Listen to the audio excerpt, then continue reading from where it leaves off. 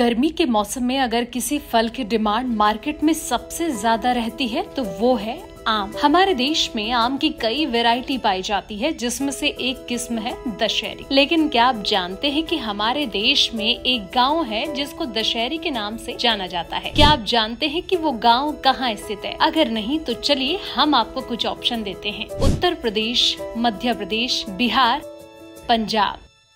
सोचिए सोचिए, इनमें से क्या लगता है आपको? कहाँ स्थित है दशहरी आम वाला गाँव? तो चलिए, हम ही बता देते हैं। इसका सही जवाब है उत्तर प्रदेश। अब जानते हैं इसके पीछे की कहानी।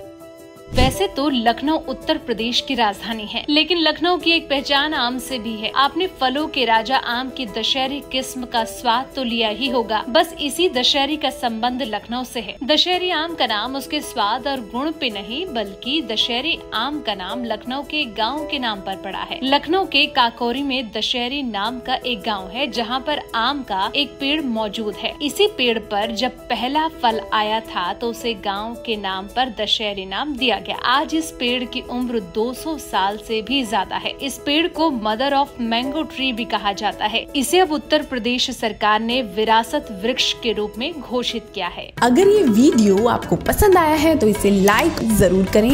अगर चैनल अभी तक सब्सक्राइब नहीं किया है तो कर लें और नोटिफिकेशन पाने के लिए बेल आइकन भी दबा दें।